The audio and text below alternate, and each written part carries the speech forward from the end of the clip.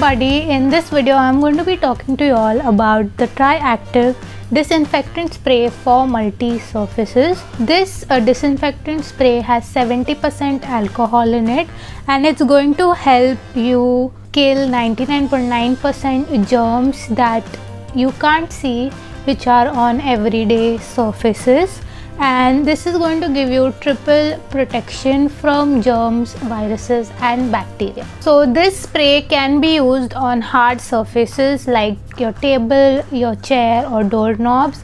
And it can also be used on soft surfaces like your pillows bed sheets and clothes.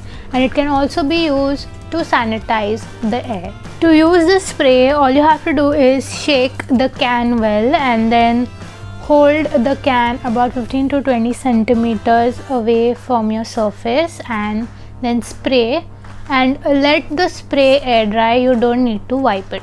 Along with sanitizing uh, your surroundings this spray also works as an air freshener as it has a very fresh and lemony and citrusy fragrance to it which I really like. So it's very important that we sanitize and disinfect any surface that we touch on a regular basis so we can keep ourselves safe and this spray is going to help you do that.